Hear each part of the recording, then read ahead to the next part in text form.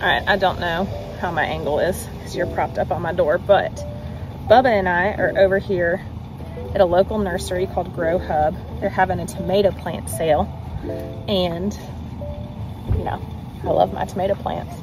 So we're gonna go take a look around. I've never gotten to come here before, so I'm super excited. It should be a good time.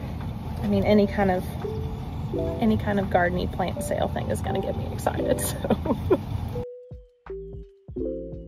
Okay, there's way more here than tomatoes. This is fantastic. We are hiding from the rain a little bit. I'm not sweet enough to melt, but I feel bad making Bubba walk through the rain. I have missed this level of wild. Look at this. Perfect. Oh,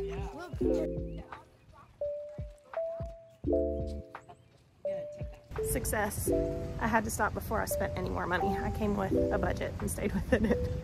But I got um, six tomatoes and two tomatillos and I don't know why this didn't click because I've heard this before that you need two different tomatillo plants for cross-pollination and my crazy brain thought that that meant so you could save seeds but no that means so you can get fruit which explains all of my tomatillo problems.